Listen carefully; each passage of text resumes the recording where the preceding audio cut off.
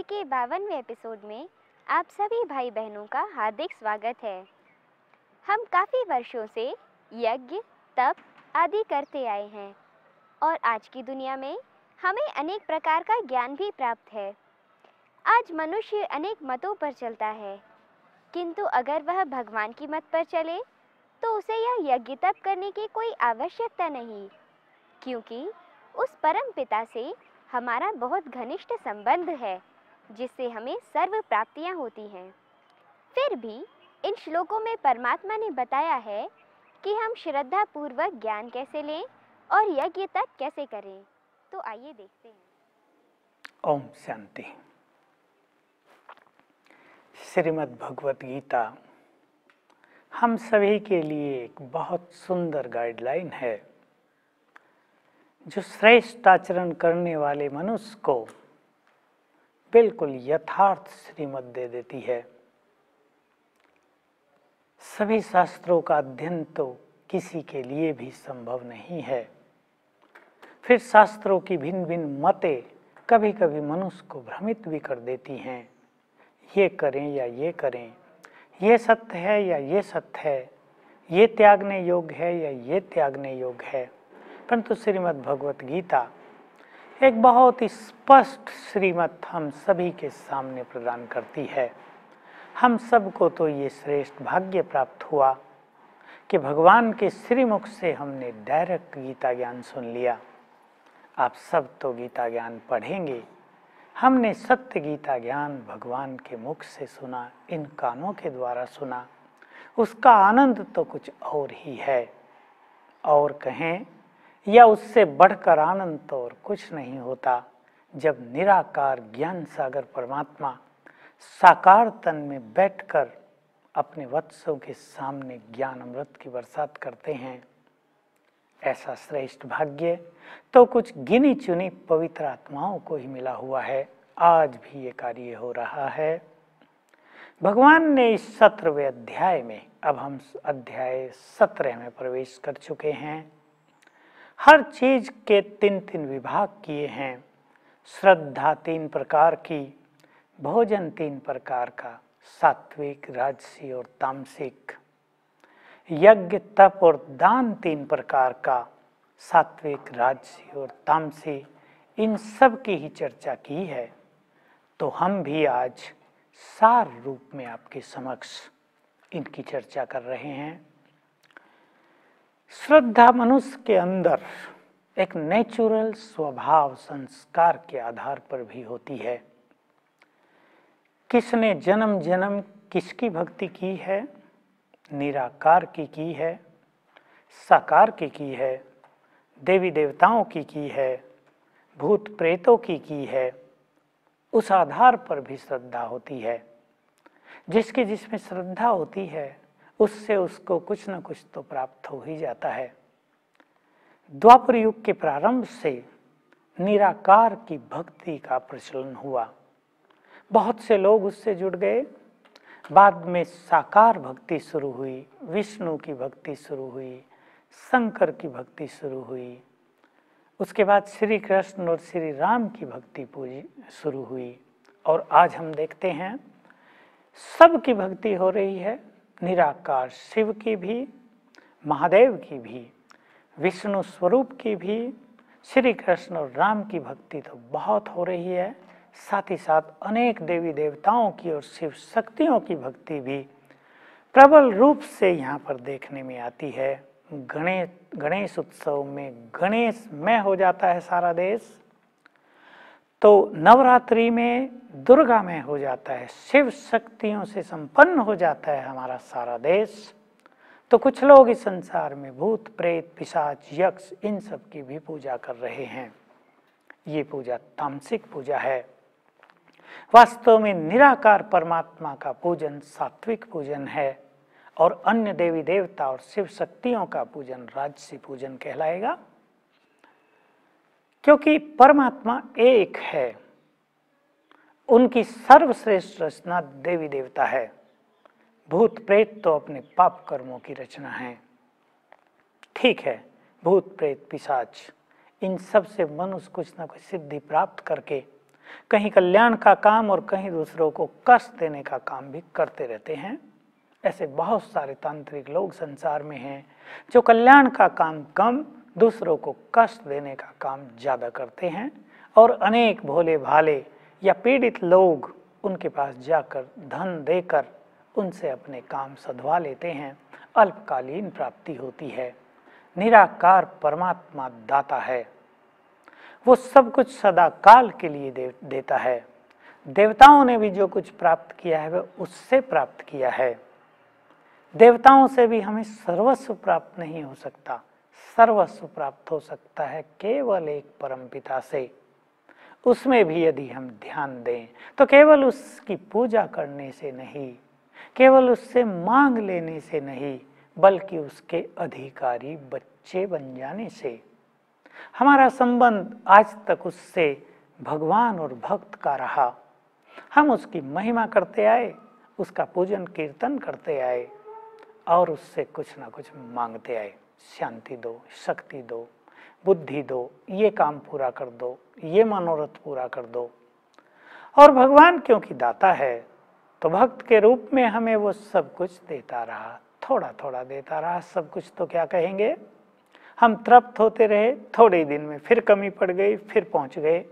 एक तो भगवान स्वयं हँसी में कहते हैं तुम मेरी रोज महिमा करते हो, मुझे याद दिलाते हो, हे भगवान, तुम ज्ञान के सागर हो, तुम पाप कटेश्वर हो, तुम मुक्तिदाता हो, तुम विघन हरने वाले हो, तुम सुख शांति देने वाले हो, तुम पतित पावन हो। मैं भूल गया हूँ क्या जो मुझे रोज रोज मंदिर में जाके सवेरे सवेरे याद दिलाने लगते हो? भगवान को भी तो हँसी आती होगी। वो कहता है, तुम अपनी महिमा स्वयं को याद दिलाओ। तुम कितने अच्छे हो तुम आत्माएँ हो, तुम्हारे अंदर देवत्व है, स्वयं को याद दिलाओ तो आश्री वृत्तियों से तुम बच जाओगे। इस सबसे भी अच्छी बात है, भक्त और भगवान के नाते से भी श्रेष्ठ नाता है बाप और बच्चे का। हम उसके बच्चे बन जाएँ, हम उसके बच्चे हैं, अविनाशी रूप से आत्मा परमात्मा की संतान है। हम उसे परम पिता कहते हैं। वही हमारा परम पिता, परम शिक्षक और परम सदगुरु है, वो हमारा सच्चा मित्र भी है। क्यों न हम उससे नाता जोड़ लें और अधिकारी बनकर उससे सब कुछ प्राप्त कर लें।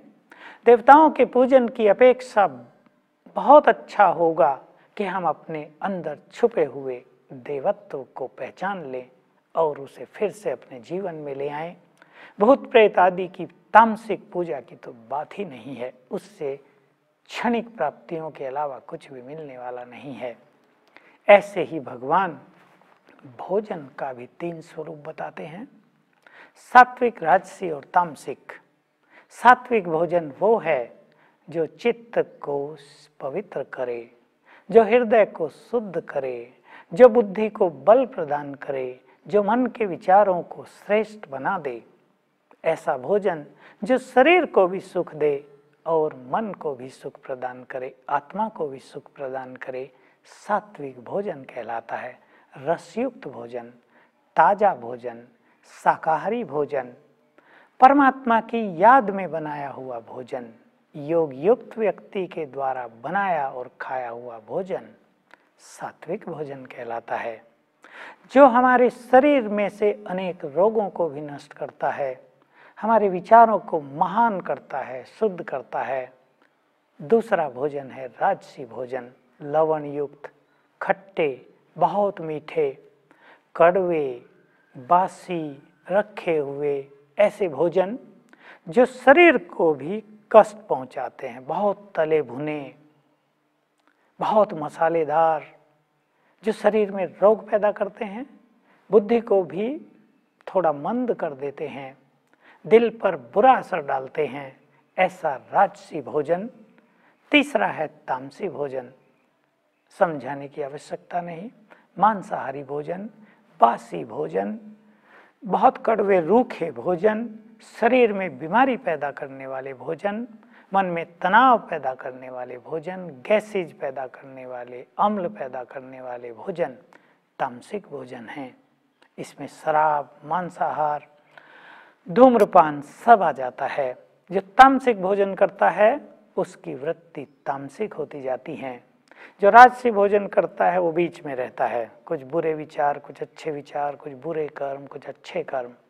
लेकिन जो वन मनुष्य सात्विक भोजन करता है जो मनुष्य सात्विक वातावरण में भोजन बनाता है, जो मनुष्य सात्विक वातावरण में रहकर भोजन खाता है, जो परमात्मा की याद में मन बुद्धि को स्थिर करके भोजन बनाता है और फिर उसी स्थिति में भोजन खाता है, उसके विचार सात्विक हो जाते हैं, आत्मा शुद्ध होने लगती है, दिल शुद्ध हो जाता है, अंदर में सात्विकता का विस्तार होने लगता है और इससे जीवन बहुत निर्मल, बहुत शीतल, बहुत सुखी नेचुरल पवित्र और शांत हो जाता है।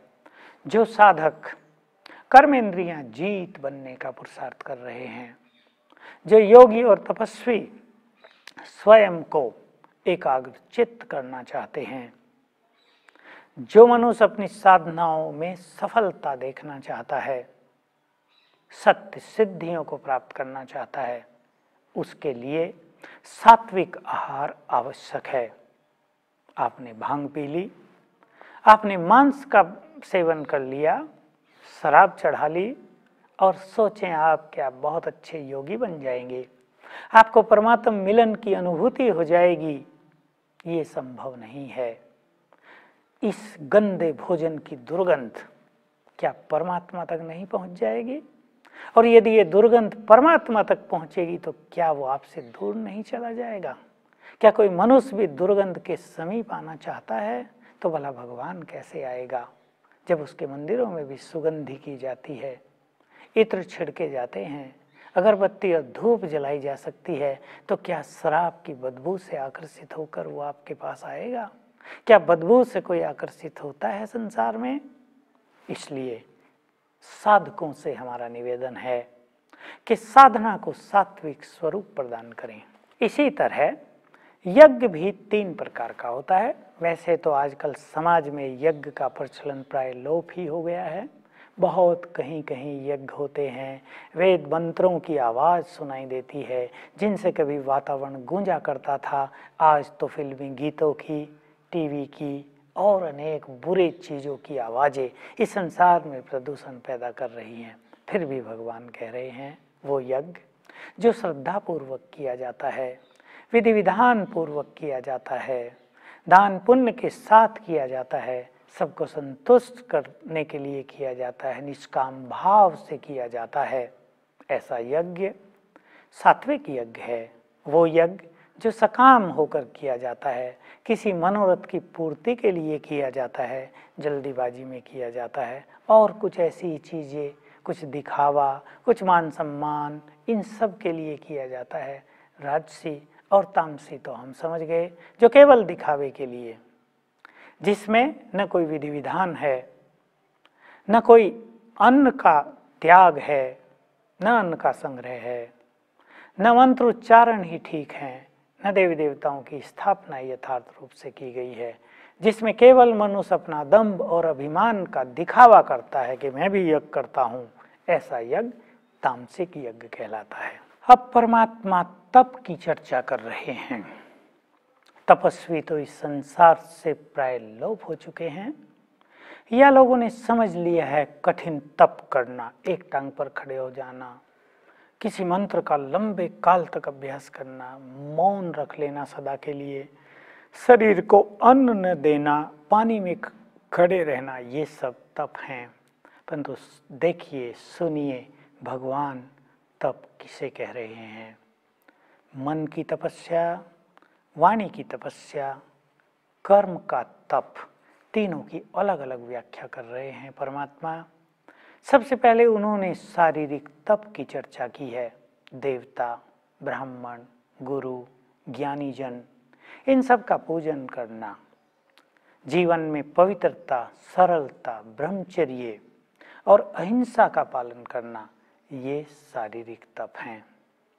अर्थात जो अपने से बड़े हैं, पूजनीय हैं, उनका सम्मान करना।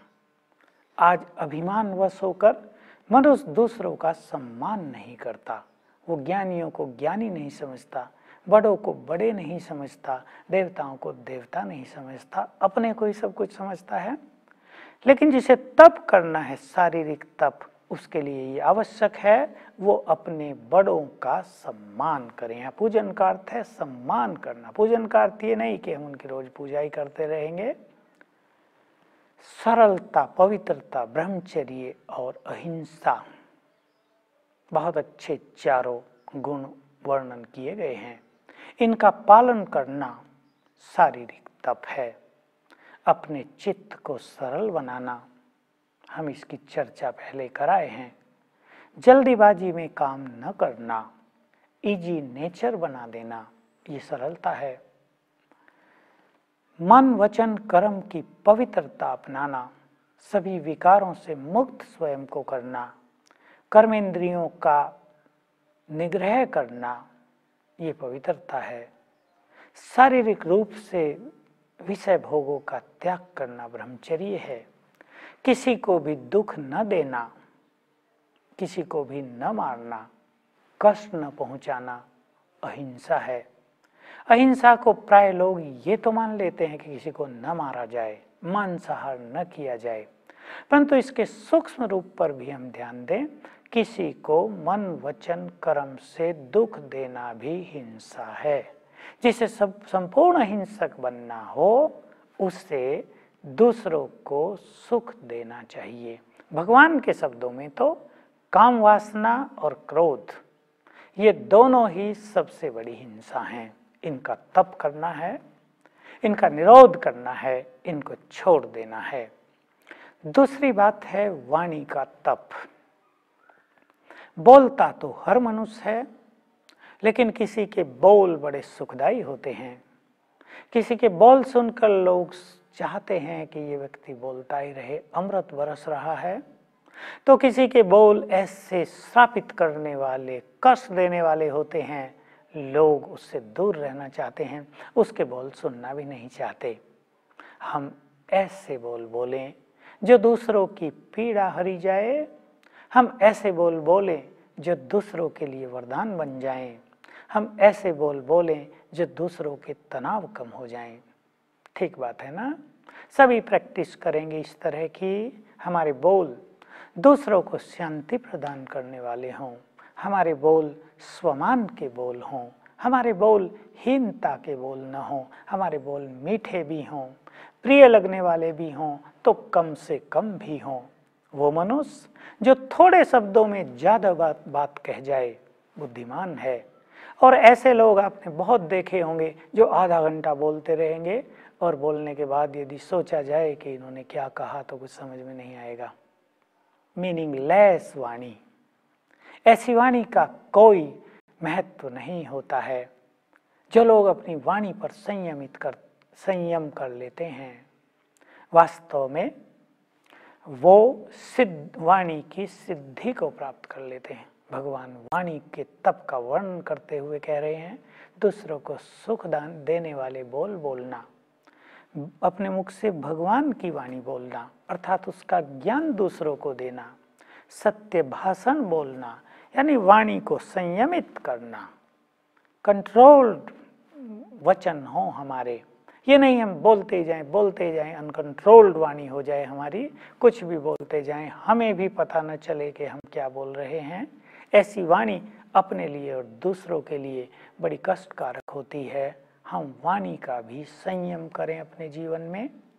तो शारीरिक तप भी हमें करना है वाणी का तप भी करना है। लेकिन बहुत बड़ी तपस्या है मन की तपस्या। अर्थात, जो मनुष्य अपने मन को प्रसन्न रखना जानता है, जो अपने मन को शांत रखना जानता है, जिसके अंदर विचारों की और भावनाओं की पवित्रता है। बहुत सुंदर शब्द का वर्णन है। जिसने मन का निग्रह कर लिया है, ये मन की तपस्या है। हम सभी इस तपस्या की ओर चलें। जिसने मन को साध लिया, उसके लिए कुछ भी प्राप्त करना शेष नहीं रह जाता।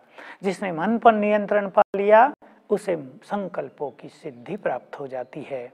जो अपने मन को सही दिशा प्रदान करते हैं, उनके अंदर संकल्प शक्ति का प्रवेश हो जाता है। उनके विचार उनके लिए ही बड़े कल्याणकारी और सुखदायी हो जाते हैं। तो हम सभी शरीर की, वाणी की और मन की तपस्या को भी अपना लक्ष्य बना लें, क्योंकि इन तीनों के द्वारा हमारी आत्मिक शक्तियाँ बढ़ती हैं और जब हमारी आत्मिक शक्तियाँ बढ़ जाती हैं, हमारा जीवन सरल और सफल हो जाता है। हम न केवल परमात्मा के समीप पहुँच जाते हैं, लेकिन उसके वरदानों का, उसकी सामीप्यता का और उसके संबंधों का बहुत आनंदकारी अनुभव प्राप्त कर लेते हैं। तो आइए देखते हैं। ये तप तीन प्रकार के होते हैं। ये तो आपने देख ही लिया है। हर मनुष्य आत्मा तीन अवस्थाओं से होकर गुजरती है। तो अब यह समय आ गया है जब स्वयं परम पिता परमात्मा इस धरती पर आकर हमें सतो प्रधान बनाने का कार्य कर रहे हैं। तो मैं आपको यह निमंत्रण देती हूँ कि आप भी अपना संबंध उस परमात्मा से जोड़कर अपने जीवन को सुखी बनाएँ। इसी के साथ हम बावनवे एपिसोड के अंत में आ पहुँचे हैं अब हमें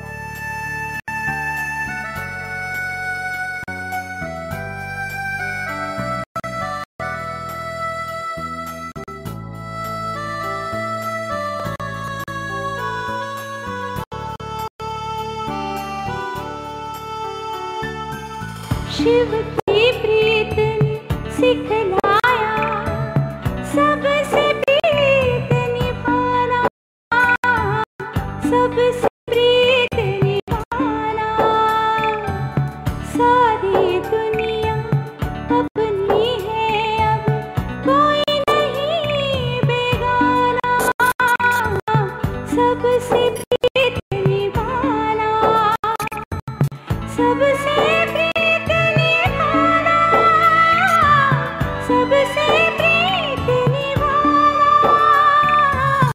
से